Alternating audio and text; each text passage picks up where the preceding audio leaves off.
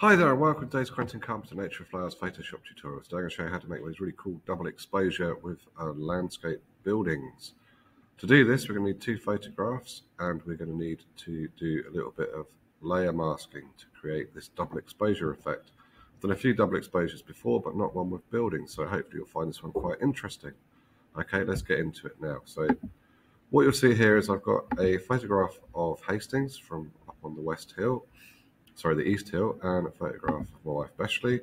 And what we're going to do is put them together to create this effect. So to do that, first thing we need to do, once we've placed the two pictures together, is rasterize the layer. Then we are going to go to black and white, so we go image adjustments, black and white. We will do that for both images. So we'll go to the background, go image adjustments, and black and white too and we've got two black and white images. Then we need to unlock the background and we need to rotate it so that it is rotated round to where we want it to be. Once we've done that, we will need to rescale it so that it's the right size for our image. If I switch the layers over so that becomes the top, you'll see that it's about the right size approximately there. Next, we will need to improve its brightness and contrast. So image adjustments, we'll go to levels. We'll drag the black line in and the white line in. So we've got a nice strong contrasting image. Click OK once we're happy. Do the same with the face. So we're going to go to image, adjustments, levels.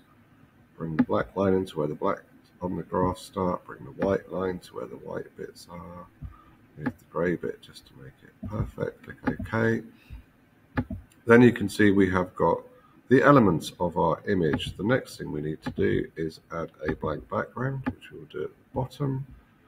We can use our gradient tool if we select a grey and a white, and then use the gradient tool here.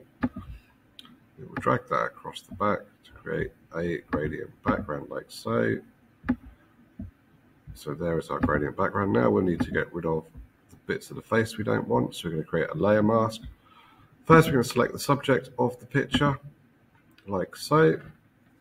It just takes a moment for Photoshop to work out where the face is.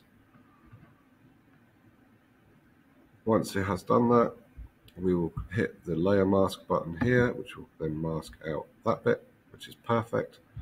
We then go on to the layer with the cityscape or the townscape.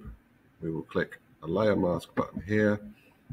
We will then use the paintbrush and our black paint and a fairly big soft round brush which we find in the general brushes and then we'll start to fade out bits of it that we don't wish to have in our final image.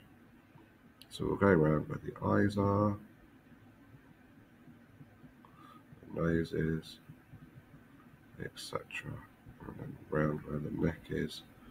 So that the buildings and the image blend together nicely. We can zoom in and look at the fine details. We can swap to white if we've taken too much out and put more of it back in.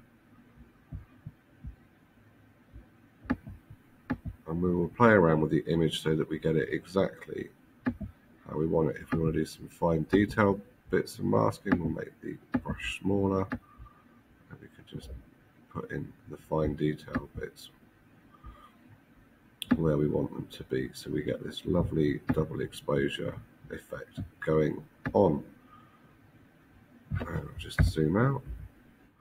And you can see what works really nicely is the sideways buildings, the sort of roads flowing through where the hairline is, and that creates our lovely double exposure effect.